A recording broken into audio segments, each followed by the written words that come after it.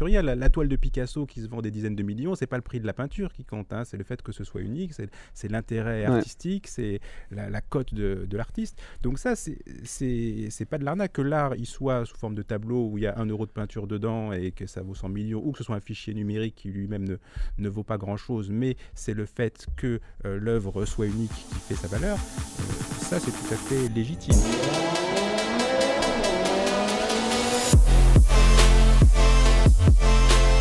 Salut tout le monde Rebienvenue pour un nouvel épisode de Propulsion Podcast. C'est notre premier épisode dehors, Ouais. je crois, à l'extérieur. je vois que vous, vous avez les lunettes parce que... Il y a quand même pas mal de soleil. un peu le soleil. Ouais, bon, donc, le seul truc avec ça, c'est que le soleil, on peut pas le contrôler. Donc euh, ça risque de tourner un petit peu dans tous les sens. Par contre, si tu es en train d'écouter en audio seulement, ben, tu t'en fous complètement de ce qu'on est en train de dire. c'est pas important parce que juste pour un petit rappel, on est sur Spotify, Apple Podcast, Deezer, TikTok, Instagram, de partout. Et sur YouTube. Et sur YouTube d'ailleurs, plus de 60% ne sont pas encore abonnés des personnes qui écoutent ce C'est podcast. dommage ça. C'est dommage. C'est tout simple. C'est gratuit. Et c'est un bouton en dessous. En dessous. Ouais, il est devenu, il est devenu noir le bouton, non? Le Je subscribe. sais pas, ouais, c'est possible. Parce que non, c'est plus le petit bouton rouge, tu vois. Ça, ça a Ah, ils ont changé? Ouais, je pense bien. Il y, a te- il y a tellement de changements qui se passent en ce moment sur, euh, sur, euh, sur YouTube et sur les réseaux et dans le monde futur qui inclut le monde de la métaverse dont on va beaucoup parler aujourd'hui. Donc euh, le but d'aujourd'hui, c'était de faire un podcast explicatif mais aussi juste de parler entre potes. On est à Montpellier, donc si jamais tu regardes et que tu es, de Montpellier, moi c'est ma première fois, vous êtes déjà venu. Ouais, vite fait, hein, de passage. Moi Ouais. aussi. Exact. Et on est venu ici pour passer du temps avec Emmanuel, justement le fondateur de NF Touring. Comment ça va? Bah ça va super. hein. Ouais. suis enchanté de faire ce podcast avec vous et d'avoir cette discussion euh, entre amis. Ah ouais, ça fait trop plaisir. plaisir. Ça fait trop plaisir parce que nous, on s'est, on s'est beaucoup parlé euh, euh, au téléphone justement par rapport à, à ton projet NF Touring, dont on va parler. Parce que l'idée, en fait, nous, j'ai fait une vidéo sur YouTube et on a annoncé des choses quand même assez exceptionnelles, folles, Ouais. assez folles, euh, comme le fait qu'on va faire gagner une Maserati MC20. Et tu as lancé ce projet NF Touring qui intrigue, je pense, beaucoup de monde. Nous compris. Et ce genre de projet, ça, enfin, ça, ça, ça fait penser beaucoup de questions. Il y a beaucoup de curiosité derrière, même moi. Et je sais, vous, les gars, vous, enfin, vous connaissez bien sûr le, le- le projet, mais euh, euh, il y a des questions, je suis en train de regarder, surtout Emery, qui n'est pas expert dans ce monde euh, Je euh, pas trop, crypto. Et on a même demandé des questions à l'audience qui ont répondu, donc que ce soit sur YouTube, sur euh, euh, les vidéos YouTube, ou là, ma voix là. Ouais. Ça, c'est ouais, parce que j'ai encore 13 ans, je fais la puberté là. Mais, euh, et aussi, bien sûr, sur, sur Instagram, j'ai demandé quelques questions. Donc, on va rentrer là-dedans. L'idée, c'est juste que, que tu, tu nous éclaircis sur quelques, quelques sujets par rapport à NF Touring parce que moi, ça m'intéresse beaucoup et je pense que l'audience aussi. Donc, euh, vous avez regardé, vous, la, la dernière vidéo que j'ai fait sur YouTube? Soyez, soyez honnêtes, les gars. Moi non. Laquelle? Euh, avec la Maserati MC20. Ah oui. oui, Non, moi j'ai juste, Ah, bah, vu la, j'ai juste vu la, le- la story. Ok, ouais. Ma nouvelle supercar. Ouais. Ben, j'ai- techniquement, c'est vrai, hein, parce que dans le titre, on a mis euh, Je commande une Maserati MC20. Ah oui, c'est ça, c'est Ouais. ça. et c'est exactement ce qui s'est passé dans, Mm. dans, dans la vidéo. Ça, im- imaginez-vous l'appel quand Emmanuel, tu, tu m'appelles, tu dis Tu veux aller euh, faire, euh, faire la config de la, de la voiture qu'on va faire gagner? Je me suis dit Oula, mais c'est c'est quoi ce truc? C'est quoi ce projet? C'est c'est- Ouais. c'est dingue, c'est fou, quoi. Euh, ça fait combien de temps depuis que, que tu as commencé ça? On va aller un petit peu dans, dans ton passé, comment tu, tu en es arrivé là. Moi, ça m'intéresse. Euh, mais c'est quand même un, un sacré projet qui me semble être loin de ce que tu fais de base, non? Effectivement, moi je suis médecin, je suis cancérologue euh, à Montpellier, Ok. donc j'ai pas eu à faire beaucoup de chemin pour, Pour venir. pour venir faire ce podcast. C'est vous qui avez roulé un petit peu, mais ça fait plaisir de vous accueillir euh, ici. On est très heureux d'être ici. Ouais. Et le cadre est sympa, on a un peu de soleil, même pour un mois de novembre. Ouais, c'est pas mauvais là. Ouais, bah, Comme tu le disais, mois de ceux qui novembre, nous on est écoutent, dehors. euh, Ouais, ne ouais. pas forcément compte. Ouais. ceux qui nous voient euh, peut-être. Ouais. Euh, oui, effectivement, je suis médecin cancérologue euh, et euh, là, ça n'a évidemment rien à voir. Euh, c'est surtout que je suis passionné automobile de- depuis mon, mon plus jeune âge, hein, euh, depuis que j'avais 12 ans, un peu comme. Ouais, Comme ouais. toi. Euh, Comme toi. Comme moi, toujours là maintenant, Ouais, c'est toujours ça. 12 ans. Mais à l'époque, euh, moi, quand j'avais 12 ans, euh, il n'y avait pas YouTube, il n'y avait, il y avait pas tout ça. Et j'ai commencé à acheter Flat 6. Je sais pas si les. Dans les Ouais, magazines, si ouais. vous- Flat vous 6, ils font toujours Flat 6 Ouais, Je je sais pas si ça pas, existe toujours, mais en existe tout cas, c'était pas, mais vraiment en tout cas, à l'époque, mois, on attendait la sortie avec impatience. Ouais. Et euh, effectivement, moi qui étais fan de, de Porsche euh, depuis mon plus jeune âge, euh, ça me faisait rêver. Et puis je me disais un jour, euh, j'en achèterai une. C'est euh, le cas d'ailleurs. Là, hier soir, on t'a vu en Panamera. Voilà, je roulais avec une Panamera aujourd'hui. J'ai eu une euh, Boxster euh, avant, une 911 euh, Turbo aussi. Ok. Ah oui, et effectivement, dès, dès que j'ai pu me le permettre, j'ai voulu réaliser mon rêve. Et là, euh, bon, c'est une manière de, de réaliser aussi son rêve d'une autre manière. hein. Maintenant, Ouais. les, les technologies ont évolué. euh, bah, tu vois ça- ce que c'est euh, tous les jours, puisque c'est ton métier, euh, Ouais. sur tous- tous les réseaux. Moi, les réseaux, je suis pas. Évidemment, j'ai pas grandi avec, donc Ouais. je suis peut-être moins à fond dedans que, que, que les plus jeunes. Malgré tout, euh, bah, j'y vais par, par- pour la passion. Si j'y vais, Ouais. c'est pas pour. euh, Ouais. parce que j'ai rien à faire d'autre, c'est Ouais. parce que euh, j'ai envie de, de me renseigner sur euh, toutes les, les nouvelles voitures qui sortent. C'est plus comme à l'époque où on achetait une fois par an le hors-série euh, au- Auto, Ça a Auto tout Plus, changé, hein. euh, Ça a tout changé. par cœur à 15 L'Argus, ans. euh, l'Argus pour voir combien tu revendais ta voiture Ouais. aussi. Voilà, voilà. Et c'est- Ah, ça, le me prix rappelle. Tu sais, il y avait toutes les cotes à l'époque. Et puis sur les neufs, toutes les options, etc. Moi, je voulais te demander juste par rapport à la. Bon, Mm. on, va, on va rentrer dans le sujet NF Touring et tout Mm. ça après, mais par rapport au côté passion automobile, Mm. Qu'est-ce que tu as eu comme, euh, comme voiture euh, qui t'a qui t'a fort marqué au long de, Mm. de ta carrière, on va dire, de collectionneur? Alors, bah, J'étais très, très, très Porsche. hein. Bon, après, collectionneur, euh, oui, j'en- ai plusieurs aujourd'hui, mais euh, sur- c'est surtout pour, pour rouler hein, au, quotidien. euh, et, C'est euh, pas pour que- garder quoi. voilà, tout le monde n'a pas effectivement ce- cette possibilité, cette chance ou, euh, ou, ou la- ou l'envie, mais, mais euh, donc c'est vraiment, comme je vous disais, pour, par rapport à Flat 6, c'était en premier lieu les, les Porsche. hein, et, euh, mais après, voilà, c'est comme euh, tout, hein, on peut arriver à être un petit peu blasé, même de. Ouais, t'es plus le genre de personne qui achète, qui roule et qui revend. Voilà, c'est jusqu'à euh, récemment. Là, maintenant, j'en ai gardé une. euh, je me suis un peu intéressé au Youngtimer, donc j'ai une BM 850 CSI. Ouais, elle est super. dont je suis très Ah, fier. belle, euh, On va- parce on va filmer avec. c'est un- modèle rare. J'ai pas encore l'occasion de rouler beaucoup avec, mais j'en veux parce que c'est le problème des anciennes aussi. hein. Bon, toi, tu, tu dois connaître ça. C'est c'est ton métier, mais euh, nous, quand on, on a envie d'avoir des voitures de, de l'époque où on était ado, euh, c'est pour ça aussi que les anciennes, il y a un certain décalage entre l'âge des, des acheteurs et l'âge de, Mhm. de, de la voiture. Donc, les- et puis c'est pour ça aussi que les- je pense que les voitures des années 90 euh, remontent pas mal en, en code parce que ceux qui étaient ados dans les années 90 ont envie de les acheter la aujourd'hui génération, et ont les moyens ouais. peut-être de les Et acheter donc toi, tu aujourd'hui. n'as jamais vraiment acheté pour investir, tu as Mm. toujours acheté pour rouler à la Voilà, fin du c'est- compte. Ouais, c'est ça qui est ça, et là, donc je disais que le- j'ai pas encore pu rouler beaucoup avec parce qu'à chaque fois qu'on veut rouler avec, le problème des voitures un peu anciennes, c'est qu'il y a un truc à. Ouais. Ah oui, oui, Ah oui, le matin, tu te réveilles, tu sais pas si tu démarres en fait. voilà. Et tu sais pas pourquoi d'ailleurs. Ça hein. dépend de qui entretient ta voiture, mais après, non, non. ça- Si c'est Boutsen Classic Car, Non, non, non, après, non, non, mais je suis d'accord avec toi. C'est sûr qu'avec des anciennes, on a toujours un petit peu plus de complications, on va dire, euh, amusantes. Mais après, c'est ce qui est beau parce que quand on était parti en Suisse, je me rappelle avec euh, Titine, la petite Porsche euh, qui nous avait prêté, tu démarrais, tu cales au feu rouge. Bah allez, hein, il, faut, il faut lui parler, Ouais, allez, ouais. tu démarres. Donc c'est ce côté-là. Il faut pas être pressé quoi en fait le matin. Ah, moi j'adore ce côté le matin où tu dis est-ce que. Et Tu après, dès qu'elle démarre, t'as euh. as une satisfaction. Là, tu rentres dans une voiture moderne, elle démarre euh, direct comme ça, Ouais. t'as aucune satisfaction quoi. Euh, Ouais. Là, tu as la satisfaction de rouler sans aucun témoin qui s'allume jusqu'à Voilà, voilà. 5 minutes jusqu'à Ça a été un une bonne journée quoi, Ouais, une fois ouais. que t'arrives. hein. Ouais, ouais. Mais bon, ça, c'est. Mais c'est vrai que tu as fait un sacré, donc tu es, passionné automobile, mais niveau, niveau carrière, là, tu as fait un sacré euh, saut vers quelque chose de complètement nouveau. hein. Eh oui, bon, bah, ça, ça fait de la, la psychologie de comptoir. Il y a peut-être besoin d'un peu Ouais. d'évasion aussi, hein, de, de voir, de voir autre chose. Et après, voilà, j'ai la, pa- la passion de la voiture, la passion des nouvelles technologies aussi de- depuis tout petit. hein. Mhm. Je, je faisais mon vieux avec euh, Flat 6. Je peux le faire aussi avec l'époque où j'étais au lycée, où on montait les, les premiers PC, euh, les 486. Mhm. euh, Ah oui, ok, Donc, ouais. voilà. Ouais. Et la, les- pour la sortie des, des premiers smartphones, je me rappelle même des Pocket PC avant que l'iPhone Ah, les existe, palmes et tout ça. Donc j'ai connu toute cette époque-là et j'ai toujours été euh, passionné de, de nouvelles technologies. J'ai vu la premier à se connecter à, à Internet avec les modems. Ouais, si ouais, ouais. Aujourd'hui, on n'y pense pas. On a tous un ordinateur dans la euh, poche. D'ailleurs, c'est dingue comment ça évolue aussi rapidement, hein, toutes ces technologies. Moi, ça me surprend. En moins de 20 ans, ce qu'on arrive à faire aujourd'hui. Mm. Enfin, moi, ça me Et à quel point, si tu disais à quelqu'un il y a 20 ans euh, où on en serait aujourd'hui, il non, jamais cru. c'est pas possible. Et, et- et sans, euh, sans vouloir faire la transition directement, mais c'est exactement.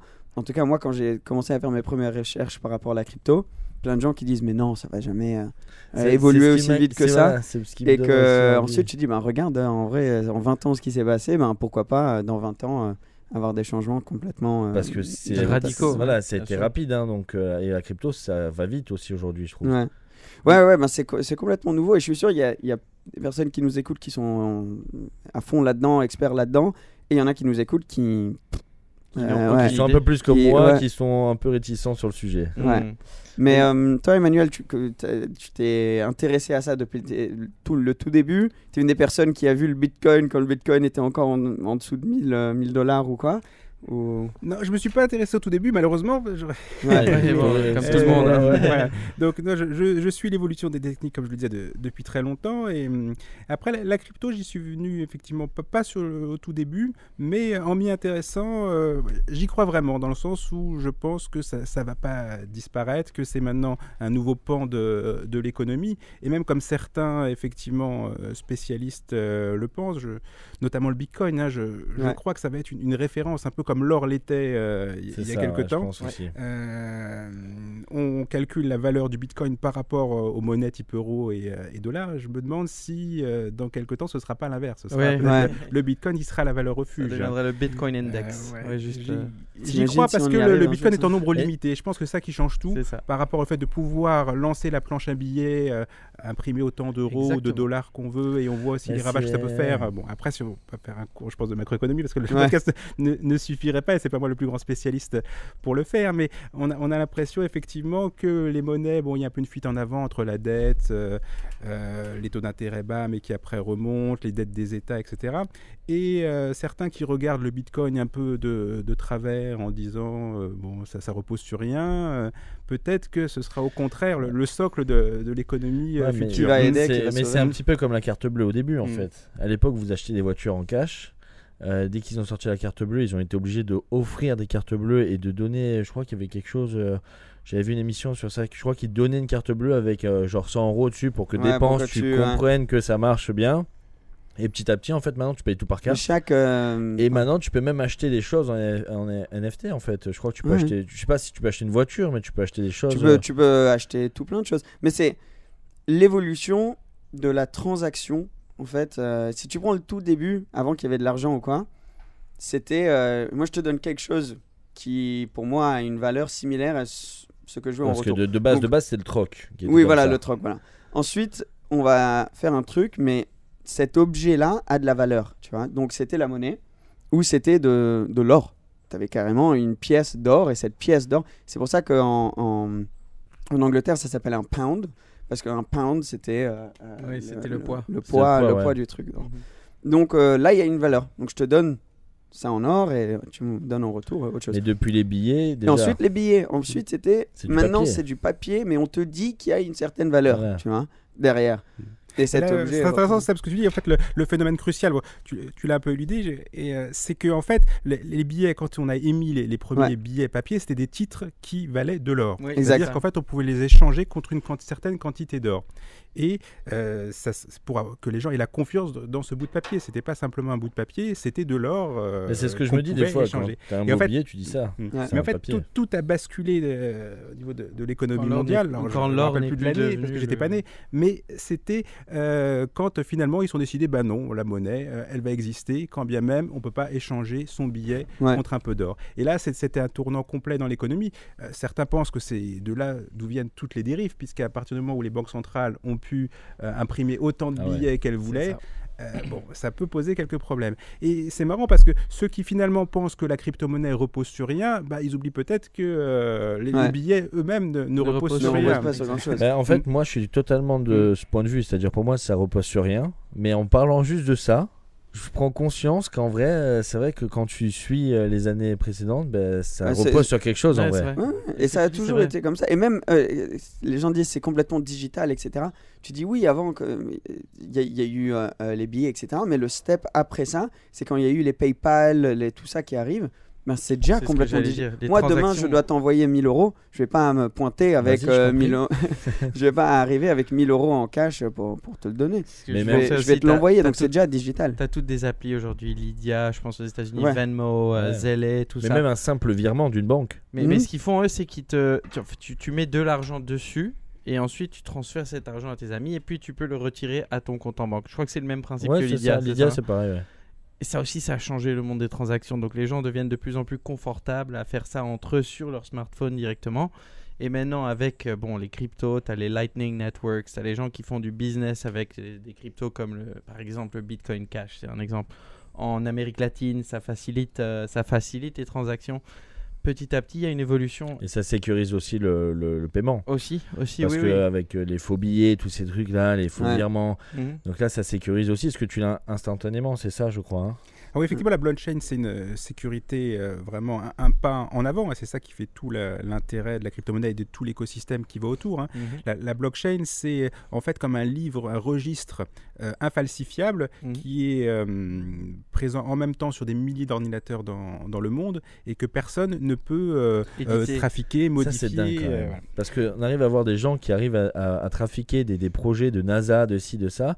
Et eux, ils arrivent- personne n'arrivera à changer ce. À, à- Après, rien, rien, en il y a la tout le temps blockchain, des c'est- En fait, c'est le principe de la la- décentralisation. C'est-à-dire que si tu as un serveur et que tu as, euh, on dit que c'est centralisé, des informations qui sont stockées dedans, effectivement, des hackers pourraient s'introduire, quand bien même ce serait Fort Knox, et euh, modifier quelque chose. D'accord. Là, à partir du moment où la donnée est effectivement reportée exactement à l'identique sur des serveurs partout dans le monde, on voit que c'est quasi Il peut pas impossible. taper un point. Quoi. Voilà. Il En fait, penser tape à quelque tous les points en même temps. Voilà. Et toutes les transactions, tout l'historique est enregistré. Il n'y a rien qui va effacer euh, quelque chose d'antérieur. À chaque fois, on ajoute quelque chose au registre et donc on peut vérifier tout l'historique de ce qui s'est passé avant. Pense à ça comme un carnet. La blockchain, c'est vraiment le carnet de toutes les transactions et c'est marqué et c'est impossible de Ouais. le changer ou de ou de d'éditer quoi que ce soit dedans. C'est un tel ou un tel a envoyé un tel une telle somme à cette personne. Tu peux pas Mais changer En fait, ça, tu ça, vois. ça, ça fait rire parce que c'est vraiment. Enfin, moi, je vois ma mère qui marque sur son carnet les dépenses qu'elle a fait. Tu sais, des fois, ça- c'est un livre. Enfin, c'est un livre spécial, tu vois, quand tu achètes ou quand tu dépenses. Et ça fait penser vraiment à ça, en fait. Ouais. Mais c'est fascinant, hein, et c'est dès qu'on qu'on- qu'on commence à faire des recherches petit à petit, euh, on commence à y croire de plus en plus. Moi, c'est ce qui s'est passé. Je me suis dit bon ben une, une coin comme si un bitcoin, ainsi, un ça, hein, euh, c'est une chose, mais la technologie en elle-même, pour moi, c'est costaud. Enfin, ça tient debout, tu vois. Tu dis ben que- en vrai, euh, si tu regardes comment les choses ont évolué des dernières années, pourquoi pas? Et juste en disant ça, je vais juste dire ça parce que c'est important. On n'est pas du tout conseiller financier Ah oui. ni Ah expert là-dedans, etc. Non, non. Au contraire, euh, l'idée là, c'est de vraiment juste faire une conversation euh, comme, comme on le fait entre potes, et je suis sûr que beaucoup d'entre vous ont fait entre potes. Et voilà, après, faites vos propres recherches, Et etc. vous devriez tous mettre toutes vos économies dans le Dogecoin. Ça, c'est tout. ça, hein, Non, voilà, on n'est pas là pour vous dire euh, ce qu'il ce qu'il faut faire, c'est juste avoir une conversation. Après, vous en faites ce que vous voulez avec, euh, avec nos points de vue. Mais, euh, mais ça, ça, c'est la crypto qui a quand même pris un gros choc récemment. hein. Oui, Donc, mais euh, bon, tu- tout le monde dit ça. On est monté de 300% et d'un coup on prend 40% et tout le monde dit Oh waouh, quel crash On est toujours au niveau euh, Ouais. tellement plus haut de où on était il y a quelques années. Et le crash n'est pas juste aussi dans la crypto. Voilà, c'est ça. Mais Et tu c'est- regardes le marché de la bourse américaine en ce moment, c'est aussi c'est la, c'est c'est- des transactions qui vont vite. Enfin, je veux dire, tu prends 300% en combien d'années en... Ça fait combien de temps que Et ça tu peux pas prédire, tu peux prendre. Non, mais je veux dire, non, mais ce que je veux dire, c'est que ça allait vite. Ouais. L'évolution. Ah oui, oui, oui, oui, ok. Et là, ça rebaisse vite. Mm. C'est en fait, ça va vite dans la les deux variance, sens. je pense, la voilà. variance est très haute et, et- et bouge très rapidement. C'est ça, je pense, C'est ça, c'est la volatilité. La volatilité, pardon, c'est ça. Euh, ça, tous les biens, les actifs euh, bah, ont une valeur qui peut fluctuer, hein, même un bien immobilier. euh, Eh oui, ça les dépend actions, du voisin, évidemment, la dépend valeur de l'euro par rapport au dollar. Et le fait que euh, dans les crypto-monnaies, on ait des montées, des descentes plus importantes, ça ne veut pas dire que c'est pas un secteur euh, qui a de l'avenir ou que c'est une arnaque ou quoi que ce soit. Ça veut dire effectivement qu'il y a une volatilité plus importante aussi parce qu'on peut réagir plus rapidement. C'est-à-dire que c'est plus facile effectivement de liquider, donc de vendre un bitcoin qu'un bien immobilier. Ah donc la, la- la valeur augmente et, euh, et descend plus vite que dans d'autres marchés, même que le marché action, mais souvent suit le marché action, c'est comme tu disais, c'est Mhm. que euh, c'est pas fait pour ça. Euh, Initialement, on pourrait se dire que le, le projet décentralisé des, des crypto-monnaies va à l'encontre des, des marchés, mais en fait non, marchés, bon, ouais. effectivement, ça suit souvent le marché parce que euh, les investisseurs, bah, soit ils ont confiance, soit ils n'ont pas confiance, soit ils achètent, soit ils vendent. Mais ça suit le marché avec une plus grande volatilité. Et Ouais, c'est drôle Mm. parce qu'au début, tout le monde disait que oui, le jour où le marché va s'effondrer, tout le monde va acheter des bitcoins comme, euh, disons, la, la valeur euh, sûre de, Mhm. de l'autre côté. Ouais. Et que ça exploserait de, de ce côté-là. Mais en fait, ça, ça- C'est l'inverse. hein. C'est- pas que ça, c'est- c'est c'est c'est pas corrélé ce à que tu dis. 100%. hein. C'est- Et ça pourrait voilà, arriver. La, la- la corrélation, on l'a- on l'a constaté Voilà. ces derniers mois, mais ça ne veut pas dire que la corrélation euh, est inévitable. Euh, le, le choc peut très bien se faire. On peut très bien avoir un, un dollar qui s'effondre, un marché action qui ne va pas bien, et justement considérer que le Bitcoin est une valeur refuge et que ce soit décorrélé. Mais ces derniers temps, ça y a eu plutôt une corrélation qu'une décorrélation. C'est vrai. Et puis ensuite, euh, par rapport à les cryptos en général, la plupart des cryptos, par exemple le Bitcoin, l'Ethereum, moi je- moi j'ai commencé à investir là-dedans il y, a, il y a longtemps, vers 2016. Euh, tu voyais que les, les, courbes, mal. les courbes étaient, les courbes étaient, ouais, 260 dollars mon premier Bitcoin. les courbes étaient, euh, étaient vraiment, elles bougeaient fort, mais elles étaient différentes entre le Bitcoin et l'Ether. Or, aujourd'hui, tu regardes dans n'importe quel marché, tout se suit, les graphes se suivent vraiment assez fort, à moins qu'il y ait euh, une belle annonce qui ait été faite pour une certaine crypto, je pense notamment à Polygon récemment. Euh, c'est, c'est- ce sont des choses qui, qui- Elles sont souvent corrélées entre elles, les cryptos aujourd'hui. Et c'est quelque chose qui n'était pas le, le cas il y a quelques années que- euh, aussi. Du coup, toi, tu as, de la crypto, tu as été intéressé là-dedans. Toi, Emmerich euh, Non, pas du tout. Ouais. Pas du tout. Moi, j'ai acheté, euh, j'ai acheté sur un coup de tête ma première. euh, je crois que c'est Ethereum. Et j'étais bourré un soir. euh, J'ai suivi notre pote non, c'était non, moi j'étais là. C'était pas, c'était pas Ethereum, c'était. C'était euh, du Shiba Inu. Oui, C'est vrai je en crois, plus ouais. Ah, je crois vraiment que Ah, c'était du. Shiba, ouais. Je, je sais pas, mon pote m'a dit c'est super machin. J'étais bourré vas la soirée. prendre J'ai dit allez, tu sais quoi? Il m'a dit t'as pas besoin de 200 euros là? Je dis Ça, bah c'est là les gens qui non. investissent dans J'ai mis Shiba 200 Inu, euros euh. et voilà. Mais du, du coup j'ai perdu un peu, j'ai gagné un peu, mais je regarde jamais. Enfin, Surtout que ce pote, il a vendu. Il a tout de- vendu cet enfoiré. Il m'a pas dit. voilà, voilà. Et toi, Emmanuel, t'as commencé vers quand à, à- le, à le te dé- poser le déclic, t'es venu quand, Emmanuel? Ouais, ça fait à peu près deux ans, hein, moi, que je m'intéresse plus au- à la crypto et aussi que j'ai lancé le, le projet Network. Enfin, lancé, au moins, dans- les deux ans, c'est de- lancé dans ma tête. Mais Ouais. euh, effectivement, ça fait à peu près deux ans, deux ans que ça, ça mûrit. Ouais. Mm. Parce que comment maintenant, par exemple, expliquer aux, aux personnes qui sont tout nouveaux là-dedans Donc il y a la crypto, c'est une chose, c'est une monnaie, c'est bon, on a à peu près euh, expliqué de notre manière un peu de novice euh, ce que c'est.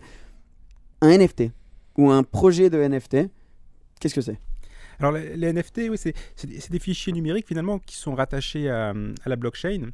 C'est-à-dire que, euh, bah, de la même manière que pour la, la- la monnaie en elle-même, c'est euh, infalsifiable euh, et euh, ça permet d'avoir un certificat de, de propriété et donc de garantir qu'on est bien le possesseur, on va dire, de, de ce bien Ouais.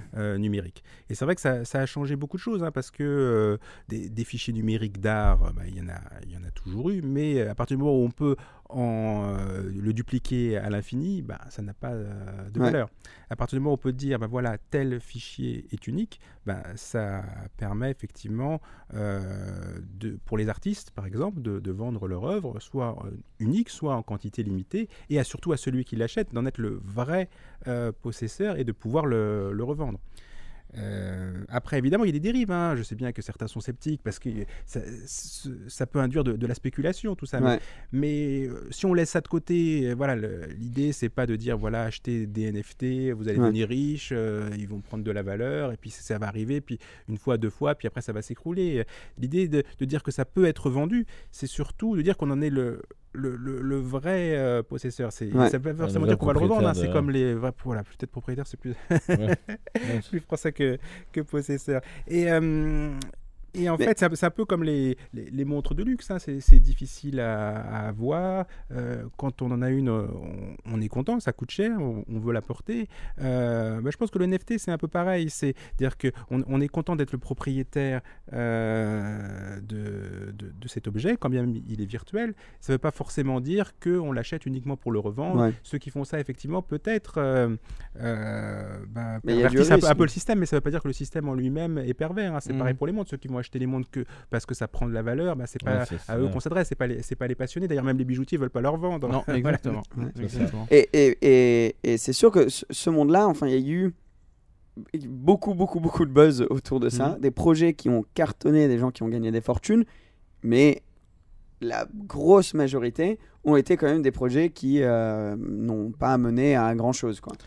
Donc, euh, Il y, a eu, il y oula. a eu- il y a eu beaucoup de projets, comme on appelle ça en anglais, des, des rug pulls, des, Hmm. je sais pas comment on dit en français, mais des tirages de tapis. En gros, des gens ont fait des, des, des, Des gros ouais. projets marketing autour d'un projet. Ouais. ils, ont, ils ont fait des énormes buzz marketing. Et puis tout d'un coup, quand ça venait à- au début du projet et tout, ils, ils ont disparu et l'argent avait disparu aussi. Bah, moi, c'est ça qui me fait peur dans, ce, dans, ce- dans, dans, dans tout ce monde-là, c'est où va l'argent derrière. Mais c'est parce que c'est pas régulé en fait. C'est ça. le problème avec, Quand- la, quand un- avec un nou- une nouvelle technologie non régulée.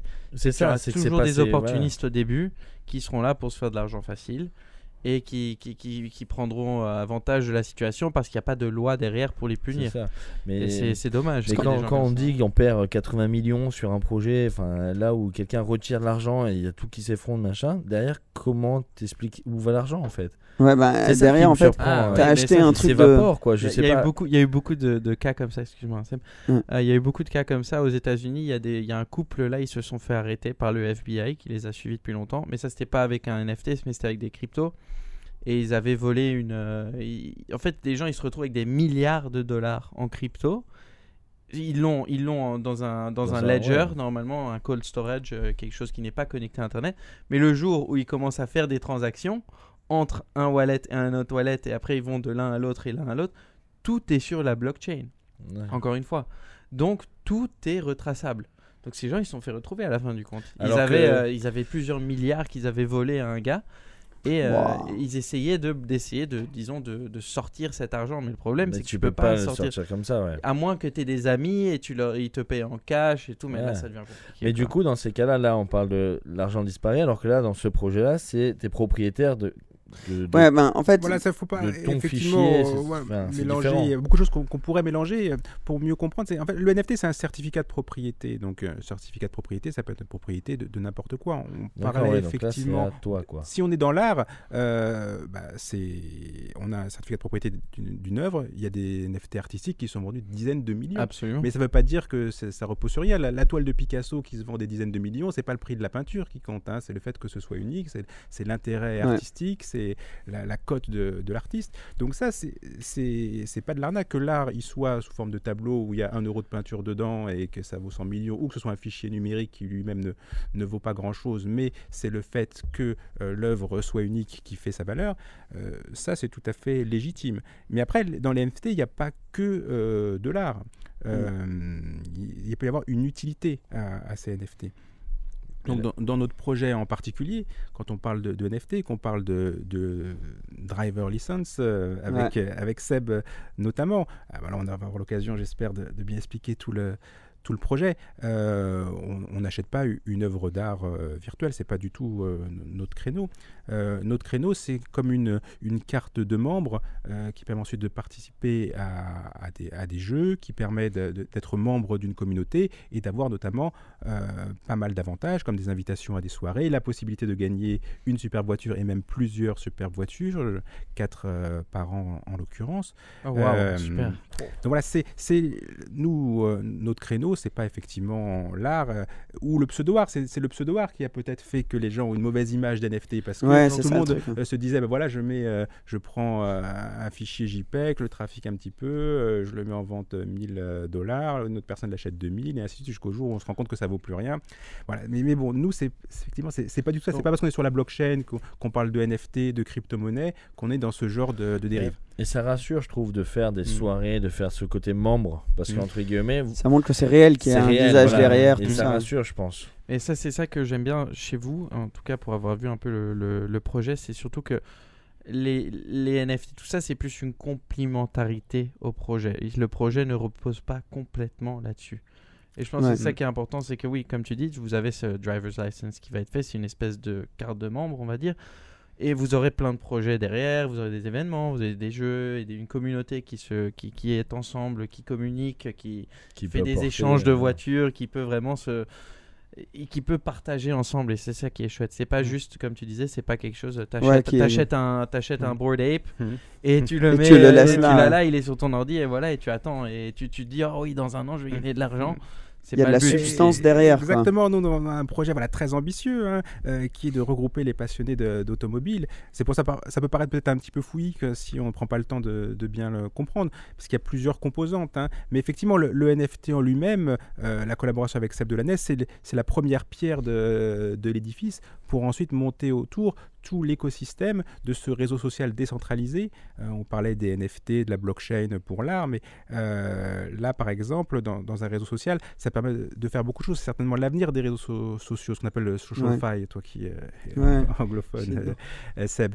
C'est-à-dire le fait que l'influenceur qui poste euh, du contenu soit vraiment propriétaire du contenu et de ses abonnés euh, dans un NFT et qu'ensuite il peut se balader de réseau en réseau en gardant sa, sa communauté. À l'inverse, celui qui est contributeur, ben, il est propriétaire de ses posts. C'est pas le, le, le réseau qui, euh, qui est maître de ses commentaires, de ses posts, de ses interactions. Donc il y aura, peut- il y il aura peut de la il y aura de la modération, comment ça dit, euh, moderators. Bah, je pense, avant qu'on rentre trop dans tous les détails, Mhm. l'idée, ce serait aussi que tu expliques, euh, enfin, l'idée globale de Mhm. NF Touring, comment ça t'est venu? Parce que Mhm. quand tu m'as appelé, tu m'as expliqué, c'est Mhm. ça qui m'a qui m'a qui m'a convaincu parce que je t'avoue pour être complètement honnête j'en ai pas énormément mais j'ai déjà été présenté des, des choses dans ce milieu là et j'ai toujours enfin tu le sais au début c'était un peu la manière dont on a parlé fais très attention à ça. Euh, je sais qu'il y a plusieurs choses qui sont des arnaques qui qui, qui mènent pas à grand chose dans ce milieu là et j'ai envie de faire très attention si je le présente surtout à mon audience. Tu m'as très bien expliqué la chose. Le projet a beaucoup de substance derrière et, et n'est pas dans, dans, dans, dans ce cas-là. Euh, mais comment t'es venue l'idée? Quelle est l'idée derrière NF Touring Quel est le but justement de ce projet? Ah, ce projet, effectivement, c'est de regrouper euh, les passionnés d'automobile. Pour ça, ça peut paraître un peu vague. Plus concrètement, effectivement, le côté réseau social que j'ai essayé d'expliquer, bah, ça permet évidemment de, discuter. euh, ça, ça, existe déjà, mais avec un plus, comme je l'expliquais, le- sur le, côté blockchain qui permet effectivement à chacun d'être propriétaire de, son contenu. Ensuite, effectivement, le côté NFT blockchain permet de se constituer une collection virtuelle. Que tu parlais de, de l'idée, effectivement, l'idée de départ, c'était peut-être celle-là, c'était de se dire euh, euh, les, ce qui lie les influenceurs euh, au grand public, c'est- le rêve, c'est le rêve de, de posséder des, des, Des des belles voitures. Et quand on voit, comme euh, tu me posais la question tout à l'heure, comment ça, ça t'est depuis combien de temps, on voit l'évolution que prend euh, effectivement Internet avec le Web 3, le métaverse, c'est de se dire que peut-être demain, euh, notre identité virtuelle, numérique, aura plus d'importance que l'identité réelle, et que peut-être demain, on se dira, la voiture, la supercar, il faut l'essence, il y a toujours un témoin qui s'allume, ça coûte cher, puis de ça va être interdit, et que donc on va, on aura toujours ce besoin, ce rêve d'avoir des, des- des belles voitures, mais peut-être qu'elles seront effectivement utilisables dans des mondes virtuels qu'on appelle euh, les Bah, métavers. c'est Ça, c'est tout aujourd'hui, un délire. Ça, C'est ça, parce qu'aujourd'hui, je n'ai pas les moyens et je n'aurai pas les moyens d'acheter une F40. Mhm. Je peux avoir une F40 dans ce projet-là. Voilà, on, dire, on pourrait euh, se concevoir sa collection, soit convertir ses propres voitures euh, réelles pour les avoir sous forme de NFT dans des garages virtuels, et ensuite pouvoir discuter de sa passion, discuter de son garage, peut-être se balader dans sa voiture dans tel ou tel métaverse. Ça, on va vers l'interopérabilité. On n'en est qu'au début, mais justement, j'ai envie euh, effectivement euh, de me lancer, euh, et j'espère que vous me suivrez au début, pour aller vers ces ce côté interopérabilité, ça veut dire être le- vraiment le propriétaire de sa voiture, quand bien même elle est numérique, et ensuite pouvoir l'utiliser dans tel jeu ou tel autre jeu, comme, et Ouais. dans comme un tel monde virtuel, se balader de... euh, Effectivement, ce, ce côté aussi un petit peu statut euh, que donne la voiture, on, on l'aurait dans, dans le monde virtuel, euh, quand ce sera dépassé dans le, dans le Mais monde tu sais réel. au début, en, en écoutant, tu te dis, mais pourquoi je voudrais avoir ça dans un. Mais les personnes qui ont joué à GTA ou Mm. quoi, si tu y penses, un garage, il est dingue. Ouais, quand Mais t'as voilà, mais une satisfaction, t'as une Mm. sati- tu te Ouais. dis, waouh, trop cool, j'ai modifié, j'ai ma voiture personnalisée, et tu passes du temps, euh, tu donnes de ton temps, qui est la seule chose, euh, la- enfin la plus importante qu'on a, euh, pour ça, et ça prend un peu ce concept et ça l'amène euh, à plus proche du réel, en quelque sorte. Mm. Et euh, euh, enfin, c'est le passer au prochain niveau, quoi. Pense- Exactement, c'est ces collections de voitures qu'on peut avoir dans GTA, dans Gran Turismo. Là, l'idée, c'est d'avoir une collection de voitures qui puisse. Mais on qui a a vraiment l'impression d'être le propriétaire parce qu'on peut les revendre. Et C'est ça qui puis, a une valeur. surtout, on pourra les utiliser dans tous les jeux, ça, je me tous les métavers. C'est ça le, le futur pour moi. Et, pour, et donc pour toi, ça c'est comment est-ce que tu opères ça? Que, que une voiture que disons que tu as dans ton dans ton appli, dans, Hmm. tu vas est-ce que tu vas travailler avec un certain métaverse avec tous? Comment est-ce que tu, tu te lances là-dedans exactement pour disons moi je veux aujourd'hui créer un, un- projet où je veux avoir des motos virtuelles quelque part. Et dis- comment est-ce que tu, tu- tu sais où mettre dans quel métaverse? Comment choisir en fait à la fin du compte Mais L'intérêt, ce serait de pouvoir effectivement euh, utiliser euh, son objet virtuel dans le maximum de métavers. Ça, effectivement, ça doit être des accords, à mon avis, avec les métavers qui se créent. Mais comme on en est au tout début, euh, voilà, Meta est un petit peu décrié là en ce moment. Ouais. Ça ne veut pas dire que ça va pas marcher. hein. C'est c'est le début. Ce qui manque, je pense, justement, dans, dans ces métaverses, c'est le rêve. Et c'est pour ça que nous, euh, on a l'idée de- d'aborder tous ces mondes virtuels par l'automobile parce que l'automobile, ça, ça crée du rêve. Et euh, il faut avoir envie d'aller dans ces métavers. Si on va dans un métaverse alors qu'il n'y a rien de plus et c'est même plutôt moins que ce qu'on a dans la vie de tous les jours, euh, c'est du mal à apprendre. Si maintenant on va dans le métaverse euh, pour rouler dans une superbe voiture qu'on n'a peut-être pas euh, tous les jours, pour arborer effectivement euh, euh, des, des, des vêtements, des, des objets, avoir des, des appartements numériques, pouvoir se balader à, Monaco, Ouais. euh, alors que euh, là où on a il pleut, euh, ça, ça incitera les, les gens à, à se lancer. Donc nous, effectivement, on ne va pas euh, effectivement créer euh, des métaverses et, et euh, travailler comme on n'est pas Facebook. hein. Ouais. Mais maintenant, par le biais de l'automobile, euh, on doit pouvoir amener avec nous euh, une grande communauté de, de passionnés. Et puis après, effectivement, de l'automobile, ils pourront passer effectivement à, autre chose, à discuter. Oui, parce qu'après- on l'automobile, de des- montres, pourquoi Et pas. le business, Mm. euh, même Mm. entre, enfin, entre membres, Mm. on peut parler de business entre nous, Ouais. de ce que tu fais, de, ça peut être intéressant aussi. Enfin, Ah, c'est sûr. C'est quand même dingue ce, ce- guillemets. ce monde virtuel qui va exister. Moi, ça, ça me, ça me surprend toujours de se dire que ces choses, on va faire. Il y, a- il y a des côtés qui font peur, euh, mais, euh, mais aussi un côté qui, est- qui est tellement ouf de l'opportunité, de la créativité qu'on peut avoir là-dedans. Enfin, ça recommence à zéro, quoi. Donc, on c'est- peut, il faut vraiment euh, avoir fait, ces idées. euh, c'est le tout début là, parce que exemple, je, je repars sur ma F40. Si demain je vais acheter une F40, donc j'achète euh, ce fameux fichier, donc c'est quoi? C'est comme un Bitcoin en gros. c'est un Ethereum. C'est un euh, Ethereum, voilà, j'achète. Donc là, j'ai ma F40. Il va évoluer et baisser en fonction du marché, c'est ça? Et derrière, si euh, je veux le revendre parce que j'ai Cédric qui veut acheter absolument ma F40, Mhm. ça, on pourra se euh, Oui, vendre. oui, euh, on voilà. Bien sûr, il y a déjà des plateformes de, des de plateformes vente. Et on achète en fonction du, du coût de l'Ethereum en ce moment, c'est ça? Alors, ça peut- euh, il va y avoir un cours pour chaque objet virtuel, Ouais. finalement, comme dans la vie réelle. hein. Euh, Chaque, Ouais. euh, chaque transaction, bah, c'est un accord entre l'acheteur et, et le vendeur. Effectivement, ce qui peut faire monter plus les prix, c'est la rareté. hein. C'est le principe du luxe, d'une manière ça, générale. voilà. Vous serez Et- sur OpenSea, sur VV, Oui, sur ces plateformes-là Bien sûr, oui. ouais. L'idée, c'est de pouvoir acheter les, les, les NFT sur toutes les plateformes déjà existantes et d'avoir no- notre propre plateforme. Parce que ce qu'on veut aussi, c'est euh, pouvoir customiser sa voiture, que les, des c'est voitures ça. uniques, soit des collaborations euh, avec des influenceurs, avec des artistes, avec des marques.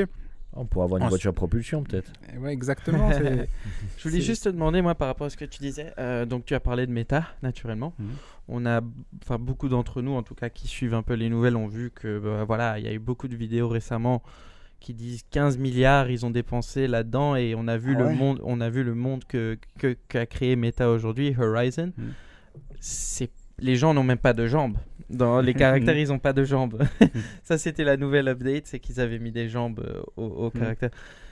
Les gens se disent, waouh, ils ont quand même dépensé 15 milliards et on en est, on en est encore à ce stade-là aujourd'hui. Mhm. Est-ce que ce sont des choses qui à toi te font peut-être peur, te, te, te motivent presque plus euh, que- Comment est-ce que tu vois ça, toi Ça, ça me fait réfléchir parce que quand on parle de, de l'avenir, c'est c'est bien beau, mais aujourd'hui, euh, on n'est pas encore demain. Bien et et, euh, c'est pour ça que euh, si effectivement cette vision euh, de devenir une sorte de concessionnaire virtuel est le point de, de rencontre de toutes les personnes qui veulent acheter, vendre des voitures, euh, qui pourront être utilisées dans des jeux, dans des métaverses, euh, c'est une, une ambition. Euh, on est obligé de, de commencer par ce qui existe aujourd'hui. Mhm. Et euh, c'est pour ça qu'il y aura le propre jeu Play to Earn qui sera intégré à l'application. Ça marche comment ça Donc Mhm. c'est un jeu play Mhm. to earn. Ça, c'est génial ça. Donc c'est ça qui, à mon avis, Ça c'est euh, un- c'est voilà, inclus dans le projet de NF Touring. voilà, Donc c'est un jeu Mhm. où on peut euh, gagner à travers ce jeu, c'est ça? Exactement, le, le nom NF Touring vient de Touring, qui est un jeu qui a inspiré le Milborn.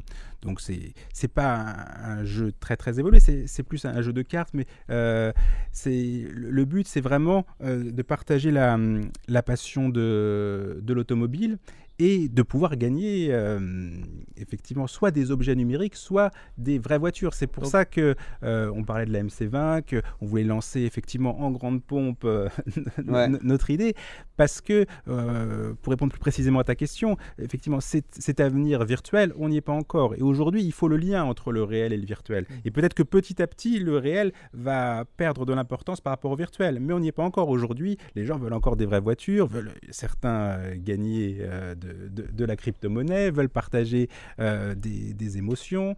Euh, Est-ce que tu peux juste expliquer pour les, les- les auditeurs qui connaissent pas le concept de play to earn? Mm. Parce que c'est quand même quelque chose d'assez nouveau. Ça veut dire jouer pour gagner, C'est ça, Mm. c'est jouer pour gagner. Je veux dire, avant, les gens, ils achetaient des jeux vidéo. euh, Mm. Enfin, je, je vais te laisser l'expliquer plus simplement. Oui, le, le concept de, de play to earn, c'est effectivement de vouloir gagner euh, dans le jeu soit de la crypto-monnaie, soit des objets numériques type NFT, soit euh, ça peut être des, des, Des prix, des vraies hein. voitures dans, dans notre cas de figure, des, des prix. Et euh, C'est quoi le jeu, en fait? Donc, comment je participe? Alors le, le jeu, comme je disais, est inspiré euh, du jeu Touring qui ressemble un peu à, euh, au, au Milborn. Et le, le jeu va être lancé début 2023. Et donc, le- il y aura des, des tirages de cartes. euh, Ah par ouais. exemple, tous les jours, on pourra participer à des courses. Euh, quand on participe à une course, on aura des tirages de cartes réguliers. Et en fonction de son tirage, on pourra soit avancer, soit euh, semer des embûches auprès des, des compétiteurs. Et le premier arrivé sera le, sera le gagnant. Il y aura Mhm. différents types de, de courses. Ça pourrait être des courses d'endurance qui s'étaleront sur plusieurs jours, voire plusieurs semaines avec un gros lot à la clé. Ça pourra être des courses très rapides euh, où il faudra abattre les cartes et être le meilleur, ce qui permettra de gagner de la crypto, qui sera notre propre token, le token NFTR.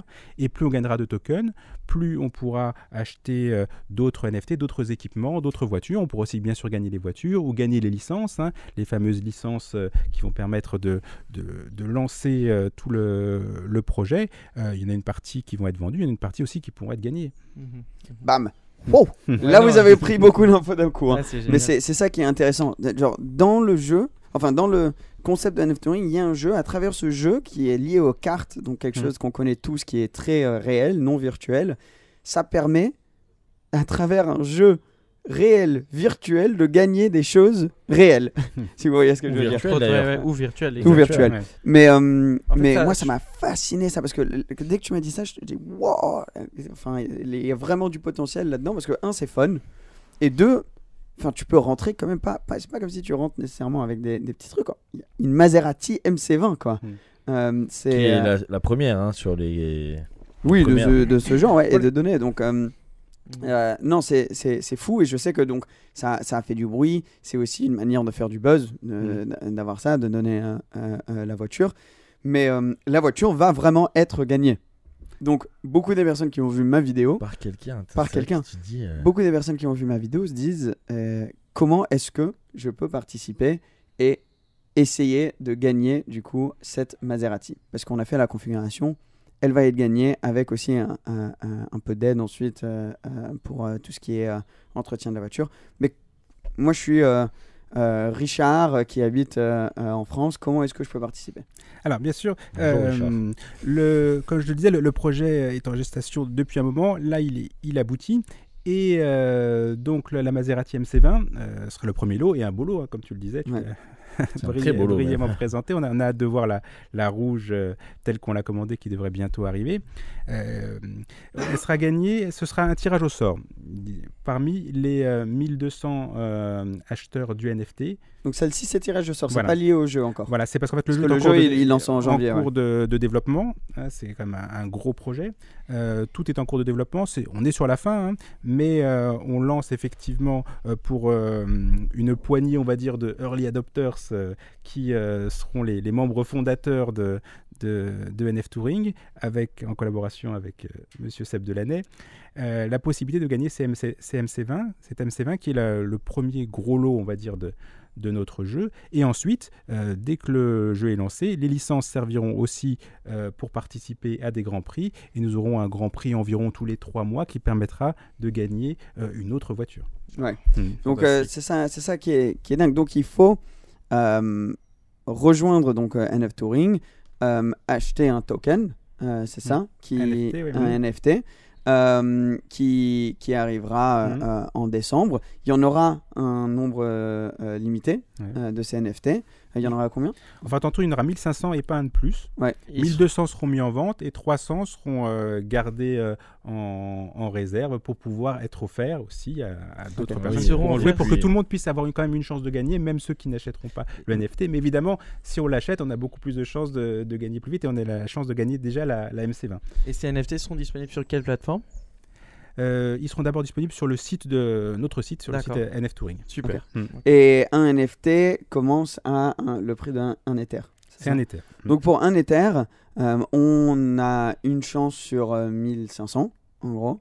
euh, de- Même, même 1200. 1200, puisque ça les- commence à le, 1200. tirage au sort se fera parmi les 1200 Voilà, acheteurs. donc Mm. euh, d'être dans un tirage au sort. Mais ce qui est énorme aujourd'hui, parce qu'aujourd'hui, euh, quand tu joues au loto, tu espères gagner 300 000 euros, le Ouais. prix d'une voiture comme ça, hein, et tu- joues contre euh, je sais pas combien de milliards de personnes. Ouais, ouais. Alors, non, bah c'est ça. Alors Et- que là, sur 1200 personnes, il y a quand même une grosse chance que tu puisses gagner euh, ce lot. Quoi. ben, déjà, il y a ça. Et ensuite, si tu gagnes pas ce lot, Tu peux avec, gagner avec ce lot. NFT, c'est ton ticket d'entrée vers les grands prix, euh, vers tout ça. Et tu peux en gagner plus. Ouais, exactement. Tu pourras en gagner plus tard. quoi, des Oui, tu pourras peut-être gagner plus tard, que ce soit des voitures, il y a des plans pour faire des, des- montres de luxe, des, des choses comme ça. Effectivement, même- on a voulu taper fort pour que ceux qui nous rejoignent dès le début et nous font confiance soient gratifiés. C'est-à-dire, A priori, c'est très intéressant pour eux d'avoir ce NFT, puisque la chance de gagner la MC20, comme tu le disais, elle, elle est énorme par rapport à d'autres types Ouais, de, de de jeux. quoi. Euh, mais c'est pas seulement un ticket de, de tombola. Mm. C'est aussi, déjà, comme on l'a expliqué tout à l'heure, ce NFT peut être vendu. On espère qu'il va prendre de la valeur. Parce Oui, que, c'était ma prochaine euh, question. C'était, il faut quand même investir un Ether qui est à peu près 1000 Mm. euros là Ouais. aujourd'hui. Euh, c'est 1000 euros. Enfin, pas tout le monde a nécessairement 1000 euros directement à mettre euh, dessus. Si on regarde ça en, en- en- en prix euh, de monnaie euh, comme, comme l'euro, il y a des personnes qui ont déjà leur, ils ont plein d'Ether, etc. Et donc c'est différent. Donc c'est quand même un truc qu'il faut qu'il faut acheter. Comment est-ce que euh, moi, Richard, là, si j'ai mis Richard. 1000 euros, je, je, comment est-ce que tu pourrais me rassurer que euh, je ne vais pas euh, perdre ces 1000 euros sans, sans rien gagner nécessairement? Mm. Est-ce que un jour, si j'ai envie de revendre mon NFT, est-ce qu'il vaudra toujours 1000 euros ou plus? Enchanté Richard. Euh, non, ton NFT euh, devrait prendre de la valeur. Euh, c'est- Rien n'est garanti, bien sûr. Bien hein. sûr, on peut pas le, le garantir et c'est pas pour ça qu'il faut venir.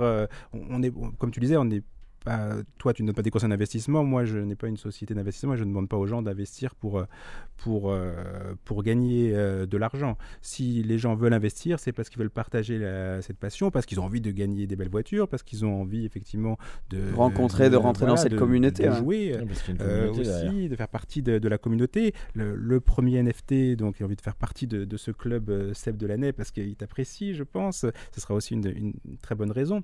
Euh, Il y a, par exemple, juste un exemple sur rejoindre la communauté, c'est on va faire des soirées, des événements, Mhm. etc.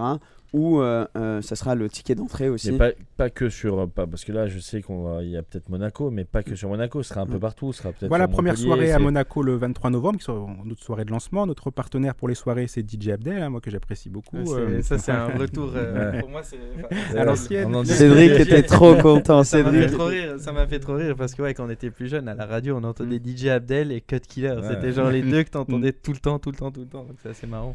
Et donc, du coup, on pourra se ret- retrouver autour de la bonne musique euh, avec la possibilité pour euh, tous les, les membres de, de gagner des invitations. Bon, malheureusement, on ne pourra pas inviter tout le monde euh, Non, à toutes normal. les soirées, mais bon, il y a la première soirée en, en novembre, il y a quelques invitations à gagner. Deuxième soirée, euh, on est en train de finaliser l'organisation pour janvier. Euh, Donc voilà, donc il y a cet donc, il y a- il y a- avantage-là. Il y a les Ça, soirées, il y a la possibilité aussi de gagner des invitations à des, à des grands prix, tout ce qui touche dans le domaine de l'automobile. Euh, Gagner des possibilité de montres, des de- voitures. des, des montres de les soirées se feront un peu dans toute la France, donc je sais qu'il y a pas mal de personnes qui sont peut-être vers Paris qui se disent bah non c'est chiant parce que je peux Mm. pas aller à Monaco tout le temps juste pour Mm. une soirée. Ouais. Mais vu que c'est dans toute la France, ça peut être intéressant Ouais. aussi. Voilà, bien sûr, deuxième à Montpellier, et puis après on remontera vers, vers le nord pour, toucher tout le monde, voilà, tout Pour finir en Belgique, bien sûr. Voilà. Voilà, donc il y a, il y a Il y plusieurs avantages.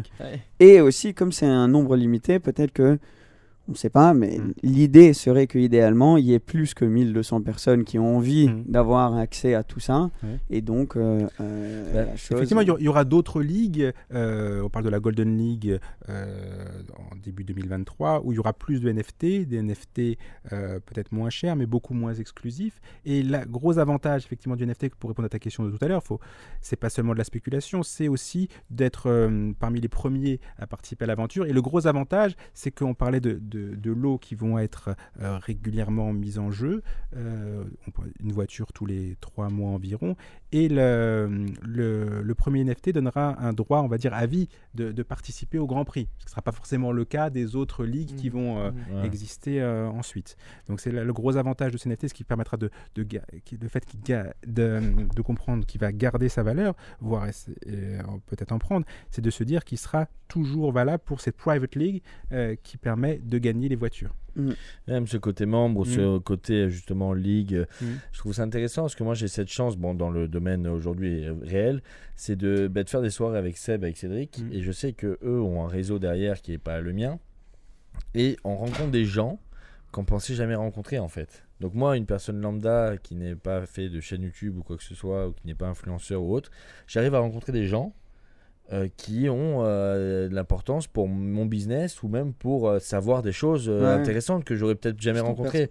Donc en fait, juste avec ces soirées-là, on rencontre des gens ou euh, qui qu'on pourrait pas rencontrer dans la rue forcément ou euh, Il y a un aspect networking. C'est ça qui est dingue. C'est très intéressant ce que je dis parce que euh, c'est assez vaste et j'ai effectivement euh, c'est compliqué de, de tout expliquer. Mais c'était aussi une, une idée euh, qui a germé pour, pour ce projet, c'était de rapprocher la communauté euh, avec les, les influenceurs.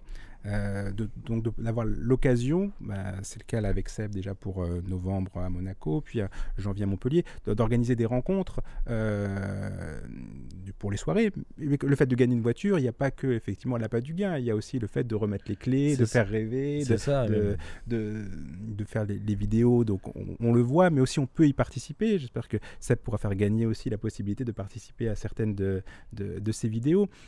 Euh, Ouais. Donc vraiment de, de resserrer le lien qu'il peut y avoir entre les influenceurs et les, et les passionnés. ça. et voilà. même en allant un peu plus loin, c'est-à-dire que Seb, euh, comme euh, tu le disais tout à l'heure, je suis très heureux que, que tu t'es lancé, tu te sois lancé tout de suite dans le projet parce que tu y crois et je pense que les autres y, y croiront aussi.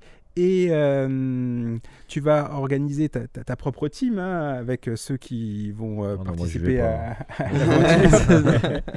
Mais ce que je voulais, c'était que on puisse faire d'autres collaborations avec d'autres influenceurs et que chacun ait sa team et que en tout bien, tout honneur et vraiment dans une bonne ambiance, vous puissiez vous affronter à la fois dans le jeu, à la fois de savoir qui fera la plus belle soirée, qui offrira la plus belle voiture. Donc c'est vrai que on voit loin, mais je pense que ce que c'est nécessaire, moi j'ai vu ça d'abord de, l'autre côté, on va dire, du smartphone, euh, en voyant effectivement que ce soit toi, Pog, euh, GMK.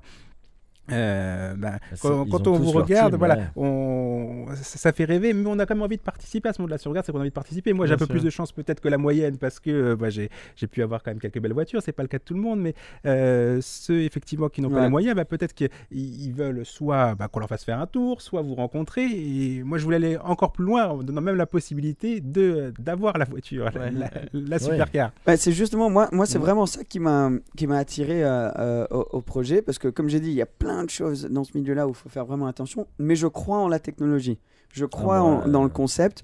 Donc dans tous les trucs, faut pouvoir filtrer et, et, euh, avec tous les trucs un peu relous euh, qu'il y a, il y a des idées top. Il y a euh, de l'or là-dedans et j'ai envie d'avoir mon petit rôle parce que j'ai pas envie de me dire dans, dans longtemps que je regrette ne, ne pas avoir pu y participer. Mais il faut qu'il y ait un sens, pas juste pour moi en perso, mais aussi à mon audience.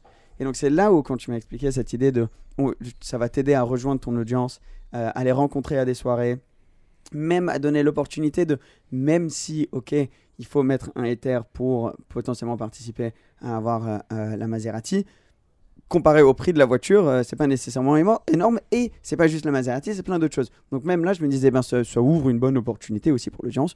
En plus de ça, on a ensuite décidé de donner un ou même peut-être potentiellement plusieurs euh, NFT à mon audience complètement gratuitement. Donc là, déjà, on est en train d'offrir euh, euh, quelque chose qui a l'équivalent d'une valeur de 1 Ether, mais aussi ça risque de éventuellement leur faire gagner ouais. ouais, leur faire gagner euh, euh, euh, une voiture ou quoi. Donc en plus de ça, c'était ok. Il y a ceux qui vont devoir euh, euh, euh, rentrer dedans euh, euh, comme euh, euh, d'autres personnes euh, euh, voilà, du monde. Et il y aura ceux qui vont gagner complètement gratuitement à travers ça. Donc je peux vraiment littéralement donner quelque chose à un membre de mon audience. Ça, c'était important pour moi. On va pas s'arrêter là. On a parlé de faire des PlayStation, des choses comme ça aussi.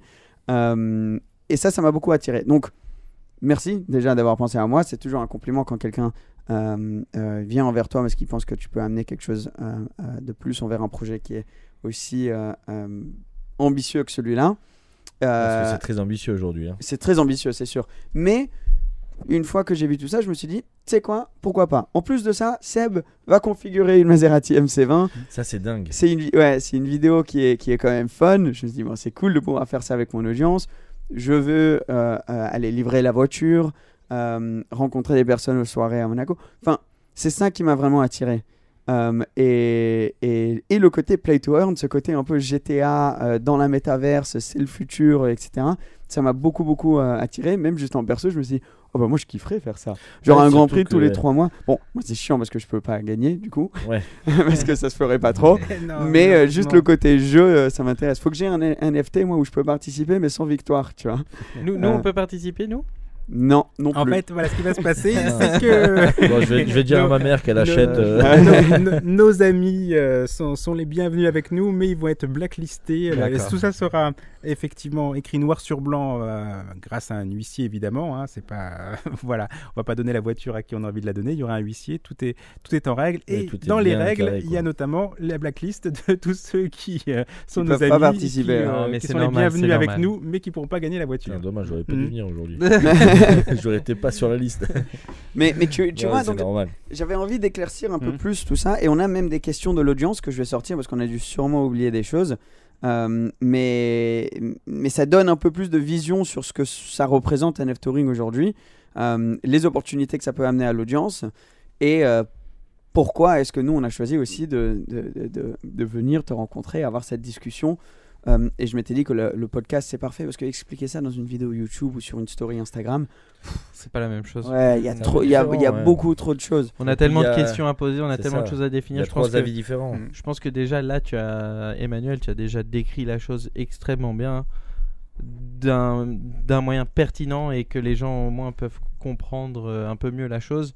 Mm. Déjà, ce qu'est un NFT, ce qu'est le projet NF Touring, je veux dire, tout, tout a été assez bien décrit dans le sens où la- l'audience peut la comprendre, mais ça met un petit moment. C'est c'est comme tu dis, c'est pas quelque chose que tu peux expliquer en 10 minutes euh, sur une story Instagram. Quoi. Ah, oui, bien sûr. il y, a le, il y a le Discord aussi de NF Touring qui est très Ah oui, oui, important oui, c'est parce qu'on peut poser des questions, l'équipe répond. Ouais. euh, Ah, on voilà, y a vraiment tout toutes un- les facettes du projet, ouais, au-delà du site internet euh, qui, est bien, qui explique bien. Le Discord, lui, a l'avantage d'être interactif et tout le monde peut euh, participer, discuter. euh, Et et on, il y a on des met- jeux- les jeux concours sont organisés aussi sur le Discord qui va Ok. permettre d'utiliser de gagner soit des NFT, soit des PlayStation. Moi, je vais être dessus aussi. Pas 50 donc, euh, MC20 non plus, hein, pour l'instant. Vous allez vous mettre, vous allez vous mettre dessus comme ça, on Ouais, peut sûr, discuter un sûr, peu avec les gens sur les On Discord. Le- le lien, on peut mettre le lien du Discord. Ouais, ouais, le lien il sera en dessous.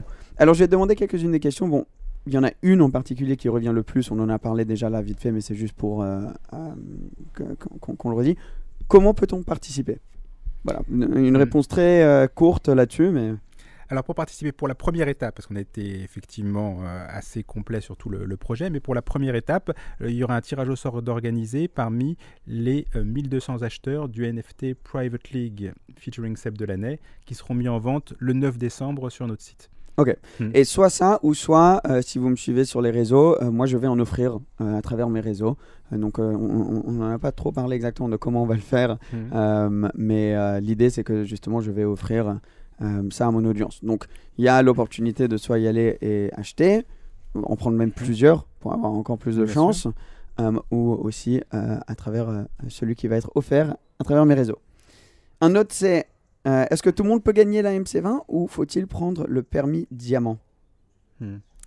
Alors, c'est, pas diamant, il est private, il est noir. Ouais. Mais euh, effectivement, pour gagner la MC20, euh, la première mise en jeu en tout cas, il faut être parmi les 1200 acheteurs ou euh, avoir gagné ce NFT. Comme tu le disais, tu, tu Ouais. pourras en offrir quelques-uns. Je te laisse le libre cours à ton imagination pour savoir à qui tu vas les, les faire gagner. Mais en tout cas, ce sera un tirage au sort parmi les 1200 euh, propriétaires de ce NFT. Euh, et donc le tirage au sort sera garanti par l'huissier et la voiture euh, sera offerte. J'espère que le, le gagnant sera heureux de, de Bah, et la personne qui va rouler de là-dedans. ta main. J'espère qu'il a le permis au moins, parce voilà, que tu imagines qu'il une voiture et t'as pas le permis. Parce que voilà, 15 ans. c'est ça qu'on après euh, on aidera bien sûr euh, le futur propriétaire à pouvoir se lancer avec et euh, Parce que c'est un coût, une voiture comme ça aussi. Oui, donc ouais, ça, ça va être juste pour la maintenance. Ben, Ouais. justement, on a vu qu'on a fait la, la config, qui d'ailleurs, euh, euh, on l'a fait quand même il y a un peu plus de temps que quand la vidéo a été postée, juste parce qu'il y, avait eu plusieurs commentaires là-dessus, bien sûr. Euh, mais bon, on poste, malheureusement, on peut pas po- Hmm. toujours poster la vidéo le jour d'après euh, que ce soit fait, quoi. Mais euh, c'est pour ça qu'on a par exemple pas pris certains trucs en carbone. Enfin, ceux qui ont regardé la vidéo le savent.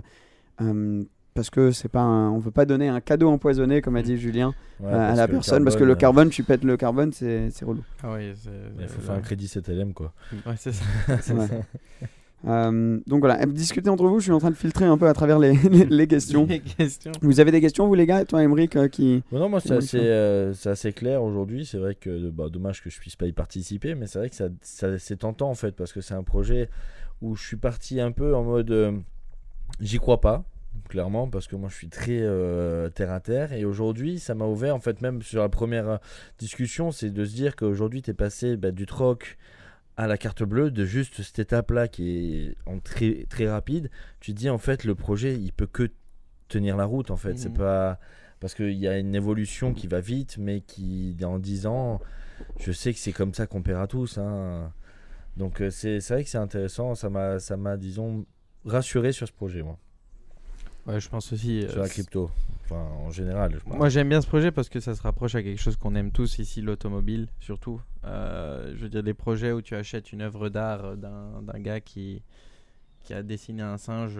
voilà, Ouais, c'est ça, ça, ouais c'est ça autour de parle l'automobile pas. La plupart des gens qui ont acheté ça, ils ont acheté ça en mode. euh, je- ils se disent, Ah, je vais faire plein d'argent. en fait Ici, on ça. a vraiment quelque chose derrière, une substance, un vrai projet, pas basé euh, not- que sur ce que tu as, mais plutôt sur la communauté, sur le partage. Après, euh. c'est voilà, exactement. Puis, puis c'est pas une idée euh, farfelue euh, non plus. Hein. Je sais pas ceux qui Mhm. connaissent, mais euh, Sorare, par exemple, dans le Ouais, domaine du football, bon, bah, c'est quand même une société qui est établie, qui a des ambassadeurs comme Kylian Mbappé.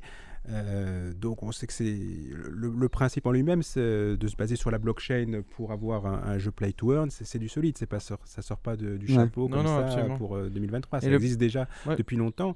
Et c'est vrai qu'on parlait tout à l'heure euh, des, des influences du projet. Bon, Sorare, c'est une très grande influence, mais parce que j'avais envie vraiment, ce- tout ce côté euh, collectionneur, parce que je suis collectionneur, euh, euh, je m'intéressais beaucoup, sauf que j'y connais rien en foot et ça m'intéresse pas. Mhm. Donc, ouais ouais euh, Donc, c'était à l'adapter dans ce qui Donc euh. J'ai pas pu me lancer dans, dans l'aventure Sorare, même si je trouve que c'est un super projet. Mais par contre, euh, le principe de la blockchain, du NFT, du jeu, de la communauté autour de l'automobile, sachant que l'automobile, euh, ça me passionne, et ben c'est sûr que ça, pour moi, ça, ça a de c'est l'avenir. important. Mais il y a beaucoup beaucoup beaucoup de gens qui disent merci NF Touring de nous donner l'opportunité parce que c'est c'est sûr il y a deux manières de le regarder. Il y a des gens qui disent ah mais on doit rentrer dans le truc pour participer pour gagner la voiture c'est pas vraiment aller gagner la voiture directement même s'il y en aura qui ont les, choses gratuitement. Et l'autre manière de le regarder, c'est waouh, incroyable d'avoir mis en place ce projet, de, de- nous donner l'opportunité de, de- de gagner cette voiture parce que on peut pas juste se permettre d'aller donner des supercars comme ça complètement Bah oui. euh, euh, dans tous les de toute sens. façon personne n'a donné une supercar comme ça euh. Ouais, voilà. Moi, Donc moi, là, je- de le moi, faire, je participerais bien au projet sans euh, participer au, euh, au tirage au sort ou quoi que ce soit. Mais Ouais. rien que d'avoir une voiture virtuelle dans mon garage et tout, de pouvoir un peu expérimenter avec cette ouais. communauté, moi ça m'intéresse hyper fort. déjà ça et de deux il y a des voitures que tu pourras peut-être jamais te payer aujourd'hui que Ouais, tu bah, pourras sûr, avoir dans sûr. ce jeu en absolument, fait Absolument, Alors une autre question, euh, où trouve-t-on l'application? Alors, l'application n'est pas encore disponible. hein. Voilà. Je vous l'ai dit tout à l'heure, elle, est en cours de développement. C'est un projet de longue haleine. Ça fait deux, deux ans qu'on y travaille. On est sur la fin. C'est pour ça qu'on se permet de faire ce, ce lancement en grande pompe euh, avec Mhm. Seb. Et c'est pour début 2023. Début 2023, on pourra commencer à discuter euh, sur le, le réseau. Pour l'instant, on peut discuter sur le Discord déjà, parmi les, nos, nos premiers membres. Et euh, on pourra effectivement jouer et, euh, et gagner les prochains lots. Voilà. C'est pour ça que j'ai- on avait anticipé avec la MC20 pour euh, que ne pas perdre de temps et euh, pouvoir offrir une voiture avant que le, le jeu soit pleinement euh, euh, disponible Ouais, et, développé. et prêt. Et, et donc là, si j'ai envie d'acheter un des 1200 NFT, ça se fait sur euh, votre site? Voilà, ce sera sur le site. hein, le, le drop est, est prévu euh, de début décembre. Et euh, bien sûr, le premier arrivé, premier servi. Ok. Et est-ce que Ça je peux aller vite, je pense, participer euh, si je suis euh, n'importe où en France, hors de la France euh, Quelles sont les, les régions qui peuvent participer? D'ailleurs, Ah, c'est une pas du tout réservé à la France, euh, puisque déjà notre soirée de lancement est, est à Monaco, et c'est un projet international, hein, donc tout le monde peut participer. Après, bien sûr, pour les détails de la livraison de la voiture. J'allais la- justement dire voilà. la MC1, va- la, MC20 livraison va de être la livrée où voiture, On s'arrangera, il y- aura un budget prévu pour que la, la- la personne puisse euh, la mettre à la, à la route, mais bon, l'idée, c'est quand même de venir chercher les clés à Maserati Monaco, en Voilà, compagnie de. Seb Delaney. Hein, Exactement. on va, on surtout passer une bonne soirée. hein. Nous, on va tous être là-bas. euh, pff, Mm. moi, c'est le jour après mon anniversaire. donc, euh, je, vais, je vais être en forme. On va le faire là-bas peut-être. Je voulais juste revenir très vite fait hein, avec toi, Emmanuel, sur le concept des, des jeux play to earn. Parce que moi, je trouve ça très chouette dans le sens où les compagnies qui font des jeux ont commencé aujourd'hui à valoriser le temps des gens qui y jouent. Mhm. Et c'est qu'avant, nous, on, jouait à des... on achetait un jeu vidéo, on y jouait. On y jouait. Euh, tu jouais pendant 10, 5 heures, euh, voilà, tu, tu, tu avais juste, tu- à la fin du compte, t'avais quoi? T'avais rien, t'as juste joué à ton jeu vidéo et t'as accompli des missions peut-être, tu as vois? plus perdu du temps, voilà. Voilà, c'est ça. Aujourd'hui, jeu, mais pas dans la vie. ton temps est un peu da- via ce système de play to earn, ton temps est valorisé. Donc tu gagnes en jouant. Et c'est ça, moi, le concept que je trouve assez intéressant. La première fois que j'en avais entendu parler il y, a, il y a- quelques temps, je trouvais ça révolutionnaire comme idée. Ouais. C'est juste. Maintenant, il faut développer les jeux euh, correctement et faire, faire, faire des bons jeux qui attirent beaucoup de monde et tout. Ça, je vous fais confiance. Voilà, au départ, hein. on part effectivement sur, sur un jeu de, de cartes, mais effectivement, il y a ce côté euh, euh, compétition euh, Mhm. pour des, des grands prix, euh, entre des équipes, entre le- des, des individus. Et comme tu disais, oui, le, le temps qu'on passe, on a envie de, de gagner quelque chose, hein, quelque chose de, de concret. Jusqu'à présent, on a, on a gagné beaucoup de, de l'eau dans les jeux. Ce qui change le play to earn, c'est que ce qu'on gagne, effectivement, ben, ça fait partie de no- notre patrimoine d'une certaine, certaine manière. hein. Maintenant, euh, pour en revenir à- à- au fait qu'on ne peut pas offrir effectivement des, des MC20 euh, et d'autres supercars à tout le monde, bon, il y a quand même la possibilité de gagner sans investir ou de jouer sans, sans investir quoi que ce soit. Il la- le, jeu est, est ouvert à tous. Comme tu disais, pour la première étape, même des NFT se- seront offerts. Quand, en début d'année, quand euh, le jeu sera lancé, on pourra très bien commencer à jouer euh, sans acheter de NFT euh, et en essayant justement de gagner le NFT qui nous permettra de passer au palier supérieur. Ouais, super. Ah, ça, c'est top. Mm. Ça, c'est très important de, l'avoir- euh, de le dire. Une, une, une question, euh, réponse rapide. Faut-il être majeur? Euh, oui, il faut, Voilà. faut être ou faut connaître cas, un ouais. majeur. Voilà, c'est ça. Euh, et Bien dit. Il faut connaître. un majeur. est-ce que l'assurance est-elle comprise? Hmm. L'assurance de la voiture?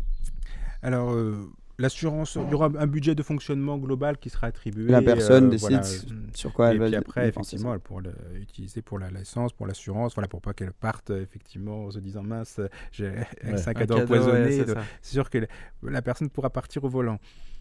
Ouais, super. Je suis en train de lire vos questions, hein, juste pour que vous voyez là à Il y en a travers. eu beaucoup, hein. euh, Il y en a eu beaucoup. On a eu des milliers. même.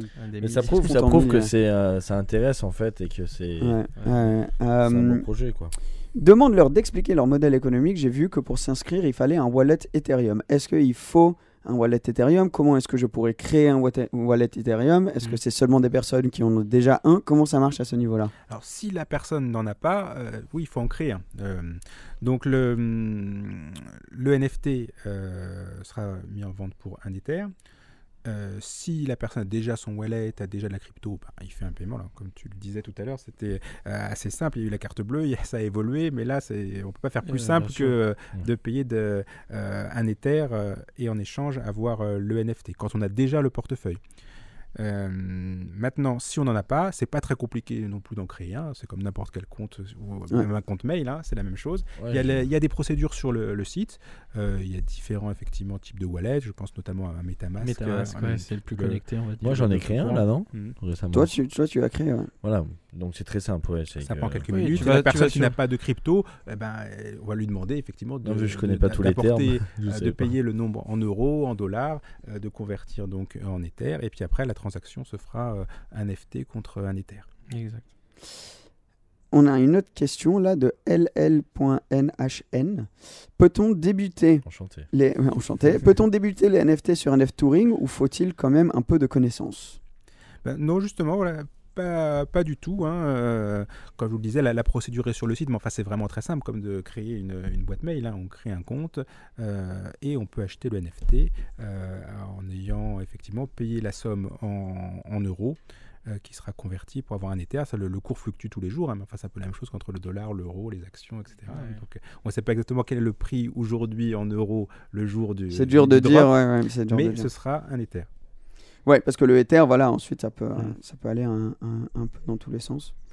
Euh, Il y, a- il y a beaucoup de questions. euh, comment t'es venu cette idée? Est-ce que c'était un truc de déclic? Euh, Est-ce que tu as toujours eu l'idée de faire ça et tu as réalisé qu'à travers ce monde de la métaverse, c'était la plateforme parfaite pour le mettre en place?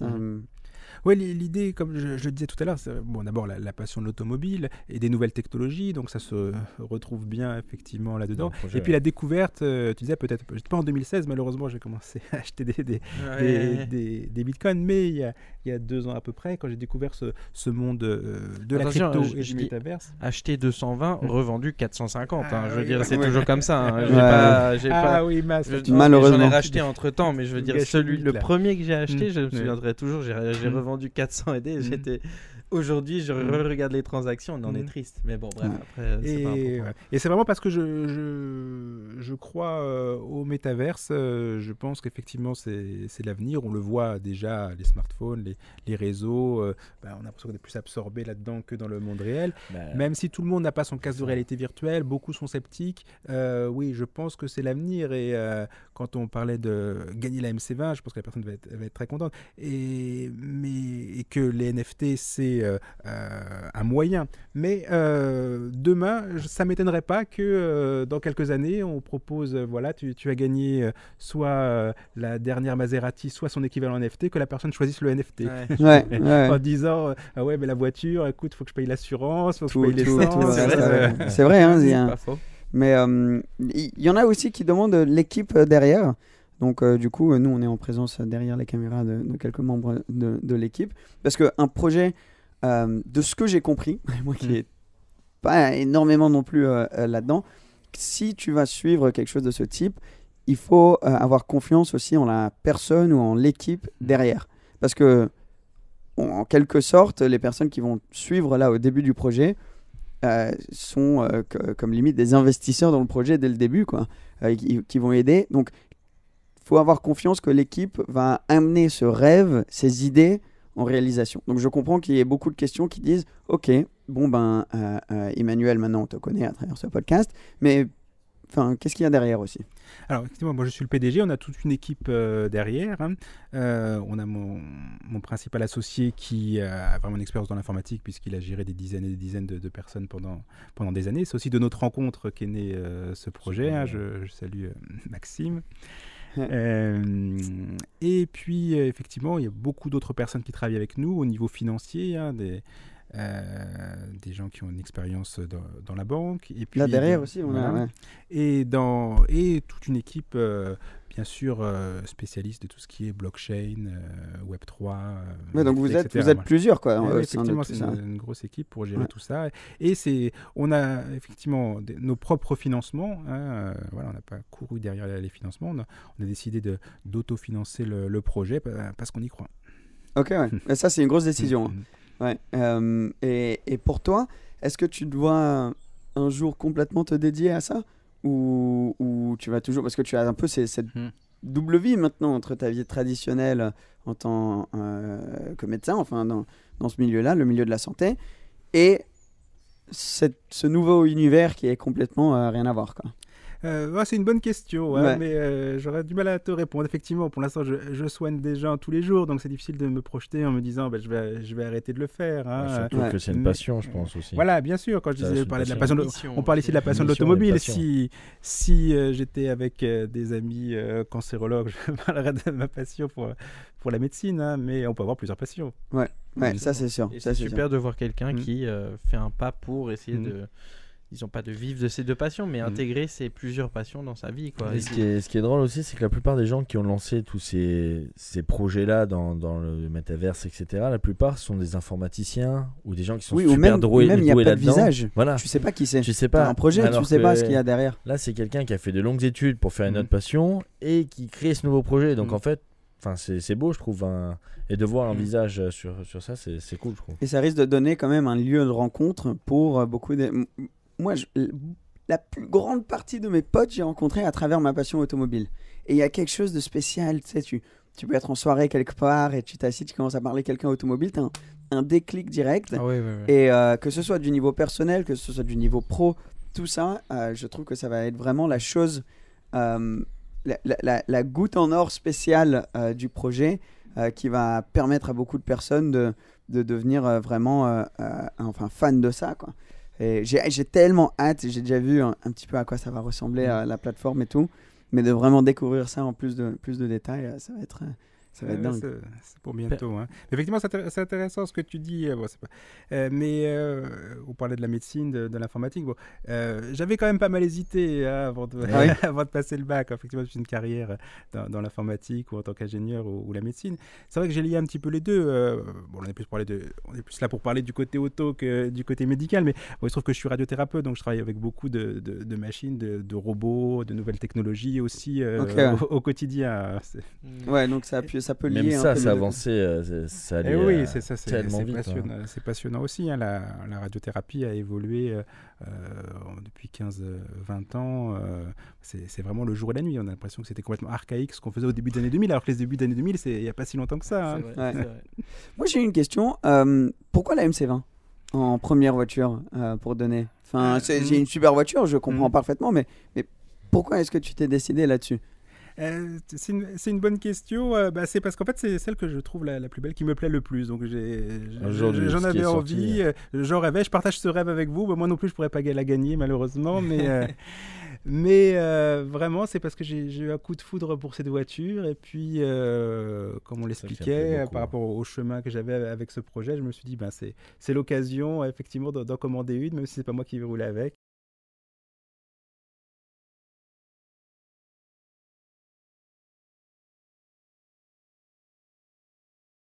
Est-ce que tu en as d'autres que tu aimerais éventuellement, s'il y en a quatre par an?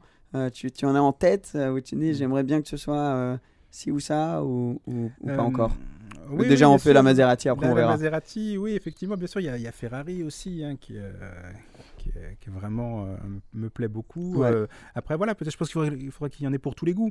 hein. Euh, on parlait euh, de- des voitures que, que j'ai vues. Il y avait la R8 notamment, la R8 V10, euh, que moi j'aime beaucoup. donc Je pourrais aussi partager cette passion euh, ouais. avec d'autres Mhm. parce que c'est la fin des, des moteurs atmosphériques. Et puis, euh, on va. Euh, faut que effectivement coller à, l'air du temps aussi. hein. Pourquoi pas une Tesla euh, modèle S Plaid euh, ou quelque Ouais. chose effectivement d'é- Une d'électrique, classique euh, à travers bout de Une classique ancienne, bien aussi, sûr. ouais. Bien Ok. Bah, je pense que les gens, ils aimeraient bien aussi une ancienne ou quoi. Enfin, c'est sûr que la plupart des auditeurs sont très branchés supercar, mais on sait qu'on en a aussi beaucoup qui Ou sont une branchés Dacia. classiques. hein. Voilà. Dacia. Une euh, petite Logan. C'est pas, c'est pas impossible non plus. hein. Je vérifie si j'ai pas loupé. Il y a tellement de questions, mais j'essaie de trouver des choses qui. euh, euh, ta, ta, ta, ta, ta. C'est, euh, Il y, a- il y a une question, bon, je pense qu'on a été assez clair là, euh, mais elle est revenue plusieurs fois. Est-ce que c'est la voiture euh, ou un NFT de la voiture qu'on qu'on peut gagner? C'est la, vraie- c'est la vraie voiture. Voilà. Je pense que la, la question est légitime, hein, mais quand je parlais de gagner le NFT plutôt que la voiture, ce sera peut-être dans, dans 10 ans où les gens préféreront les NFT. oui. Mais euh, aujourd'hui, voilà, même si l'idée évolue vers le métaverse, vers le- les, les mondes virtuels, euh, il faut euh, effectivement se lier entre le, le réel et le virtuel. Et ce qui apporte plus au- pour les gens aujourd'hui, je pense que ça reste quand même le, le réel. Ce qui fait rêver, c'est les, les supercars en chair et en os, Ouais. même si c'est des boulons. Ah ouais, c'est sûr. Alors là, là, bon, il y en a beaucoup qui sont revenus comme ça, euh, qui sont négatifs par rapport au projet, mais je pense que c'est Mhm. important de les, adresser. par- de les adresser aussi. Je pense que c'est ce qu'on a fait jusqu'à présent, mais là, il y en a une euh, qui a eu pas mal de likes, etc. Donc, faites attention avec la promotion de NFT douteuses, euh, maquillées sous forme d'un concours. Il faut faire attention aux arnaques abonnés que certains influenceurs ont pu faire, etc., etc. Il y a eu pas mal de commentaires dans ce genre-là. Je pense qu'à travers tout ce qu'on a dit jusqu'à présent, ouais. ouais, ouais. Mais je, je- je le lis parce que j'ai pas envie d'ignorer tout ça. Tu vois, il y a clairement beaucoup de gens, ça les inquiète.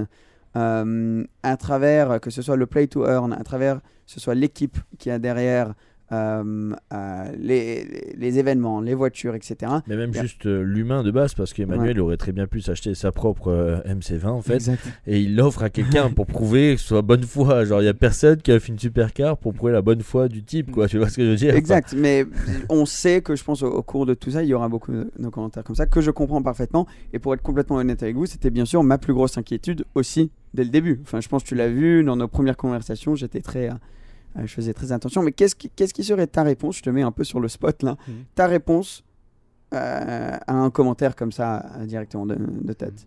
Ah, bien sûr, ça peut se comprendre. hein, des arnaques, il y en a, il y en a beaucoup. euh.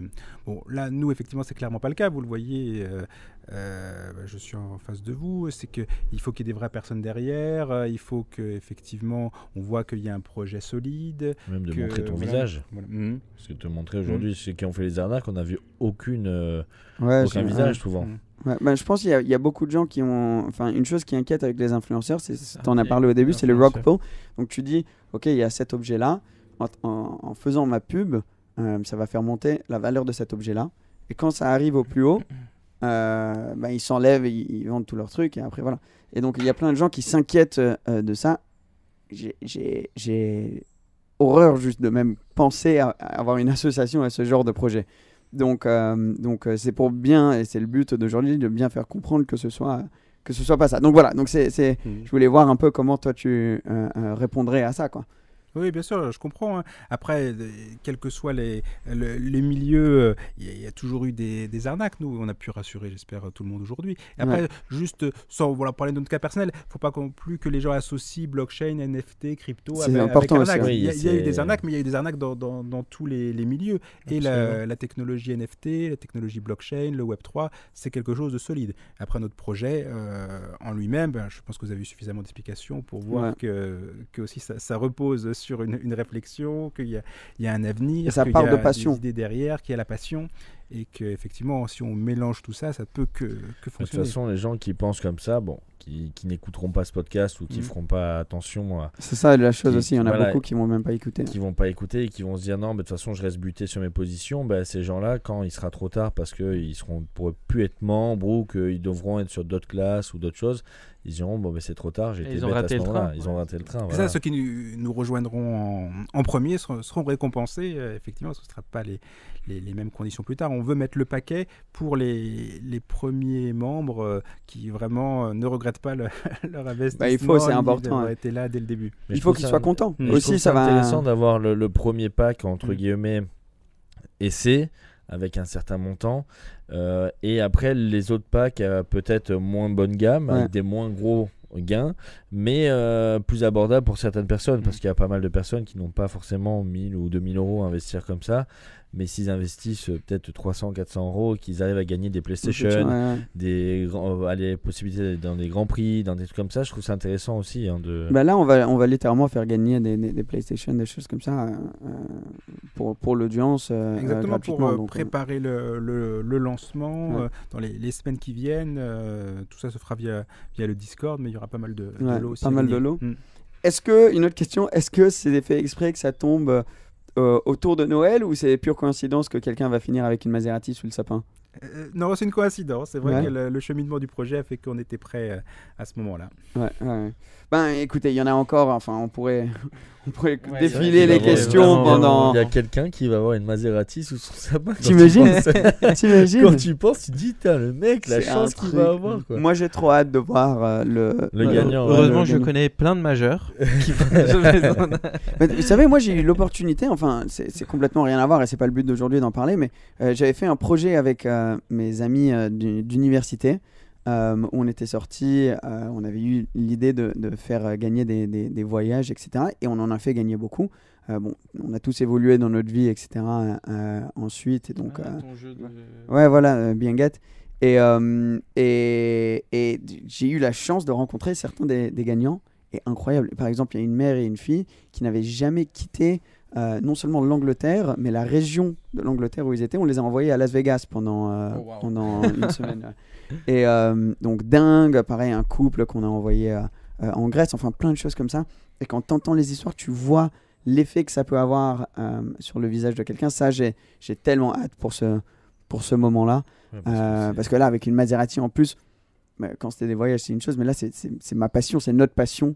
Et de pouvoir dire, là, je te donne littéralement les clés pour débloquer ta passion au prochain niveau. Enfin, c'est l'ultime niveau euh, du partage euh, dans le monde automobile.